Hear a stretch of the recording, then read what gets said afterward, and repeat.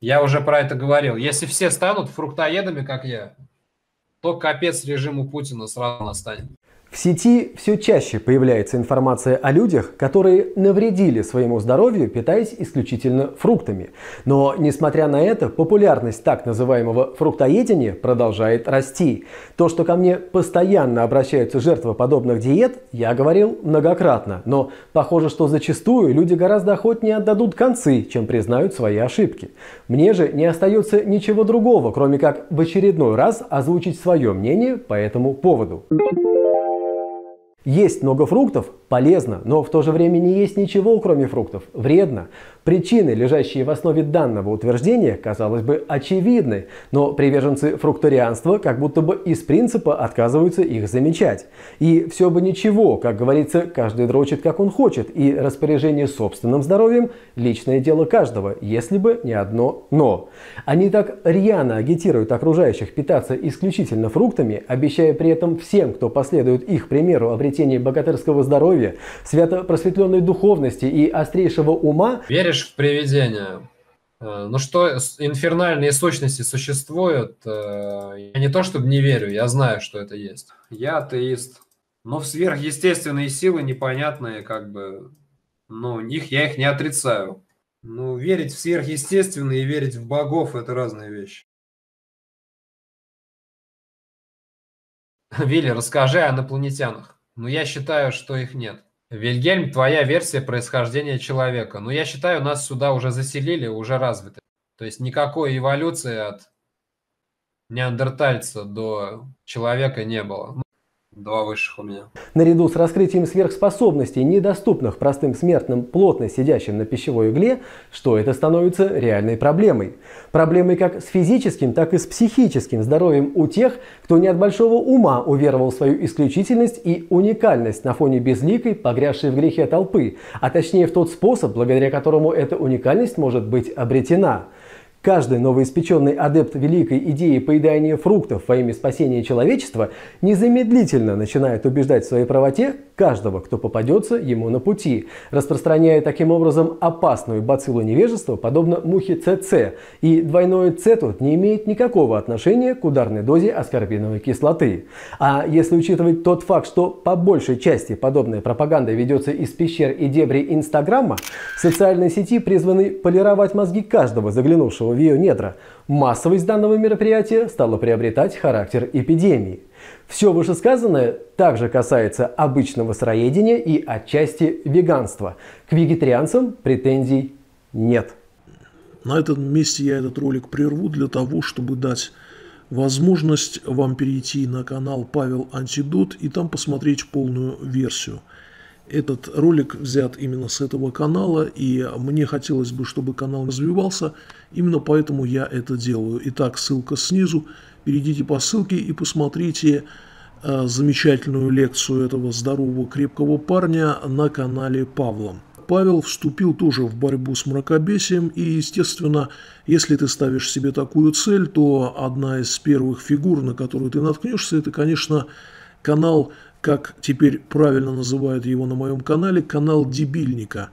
Столкнувшись ну, с явно психическим отклонением, здоровый человек, точно так же, как и я, не может пройти мимо, и у него внутри присутствует вот это желание рассказать как можно большему количеству людей, что с этим блогером явно что-то не так. Так как я уже довольно давно столкнулся с дебильником у меня уже нет такого рвения рассказывать о нем. Во-первых, это антиреклама, но тем не менее это реклама этому безумному человеку. Его чувство собственной важности с каждым разом увеличивается, как и число подписчиков, к сожалению, здравомыслящих людей очень мало. Последний мой ролик о прививках, да и много роликов у меня подобных на канале, показывают каков процент безумия в обществе, насколько все запущено, и чем безумнее человек, тем больше шансов, судя по всему, у него в этой стране сделать карьеру, стать знаменитым, я не знаю, пойти в депутаты или еще что-то в этом роде. Относительно сыроедения я планирую сделать еще тоже несколько роликов. И, конечно же, адекватным людям должно быть понятно, что перегибы в этой сфере никогда не ведут к здоровью. В своем ролике «Как прожить 100 лет» я говорил как раз-таки о том, что все громко заявляющие о себе сыроеды и фруктоеды умерли достаточно молодыми. Что ж, а, дебильник выглядит уже сейчас крайне плохо. Я думаю, что он пойдет путем, как и все остальные. Никто из них не доживал до 60 лет – не говоря уже о долгой плодотворной жизни. Единственный момент, на который я еще хочу вот просто сейчас заострить внимание, это многие девушки в основном ведутся на вот эти разговоры, что, дескать, организм у нас чем-то загажен, что необходимо отказаться от всего, перейти только на морковку или на помидоры. Поэтому ты точно уж будешь худая и стройная и так далее. Ну вот прежде чем действительно вдариться в эту ересь, посмотрите на самого этого дебильника, кто призывает всех отказаться от нормального питания и, дескать, в этом залог борьбы с путинским режимом. Это даже смешно обсуждать. Так вот, посмотрите на человека 30 лет, чедушного вида, желтый цвет лица, какие-то прыщи на физиономии и, главное, совершенно гнилые зубы. Вот это, кстати, вам на сыроедении гарантировано. Здоровья нет, а вот то, что вы лишитесь зубов уже в 20-30 лет, в этом нет ни малейшего сомнения. Посмотрите исповеди сыроедов многих, и, возможно, я сделаю именно об этом отдельный ролик – как они прощались со своими зубами. У многих они гнили, как у дебильника, у кого-то рассыпались в труху, у всех по-разному. Но так или иначе, зубов они лишились напрочь. И это говорит не только о том, что избыток фруктозы разрушает ваши зубы. Это говорит о том, что вся костная масса в вашем организме подвергается точно такому же негативному воздействию. Да, милые девушки, худыми вы, наверное, будете, но беззубыми, желтым цветом лица от вас будет плохо пахнуть. И у вас будут постоянные проблемы с костями. Я уже не говорю о том, что во время экстремального сыроедения и фруктоедения идет буквально смертельный удар по вашей поджелудочной железе.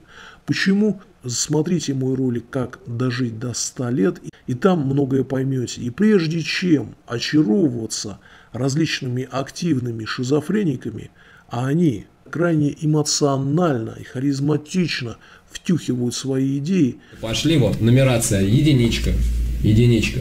И поехали, вот я тут, по-моему, 82 страницы. Вот, последняя 82 Они все сами сшили, вот, в прокуратуре. И поставили там свою печать эту ну, стандартное клише в ответе на письмо. Очень характерен внешний облик этих пациентов. Даже не столько внешний облик, сколько манера себя держать, манера поведения. Паранояльные пациенты крайне заряжены своей идеей. А, больные а, преподносят свою идею, несут ее как знамя.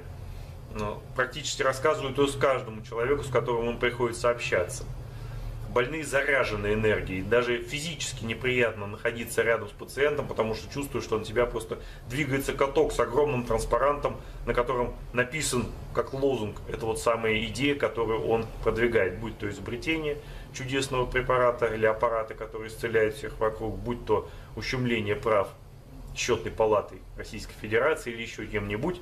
Но тем не менее, это всегда массивный, интенсивный психический напор со стороны пациента все-таки, все-таки поищите исповеди сыроедов и убедитесь, что у большинства из них здоровье не только не прибавилось, но и исчезло полностью. Пока.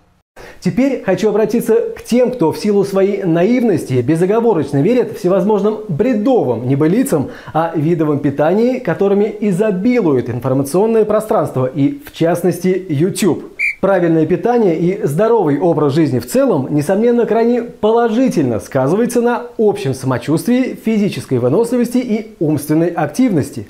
Проблемы возникают тогда, когда люди начинают переоценивать свои возможности, принимают желаемое за действительное и теряют способность мыслить критически. Большинство из них становятся жертвами шарлатанов всех мастей со всеми вытекающими последствиями – Помните, что фанатики – это золотая жила для тех, кто наживается на чужом невежестве. Как пели кот Базилию и Лиса Алиса, на дурака не нужен нож. Ему с три короба соврешь и делай с ним что хошь. Напоследок, вот вам лакмусовая бумажка, с помощью которой вы точно поймете, когда вас хотят поиметь. Если кто-то очень красиво говорит и много обещает, он непременно пиздит. Будьте здоровы, друзья! До новых встреч! Yep.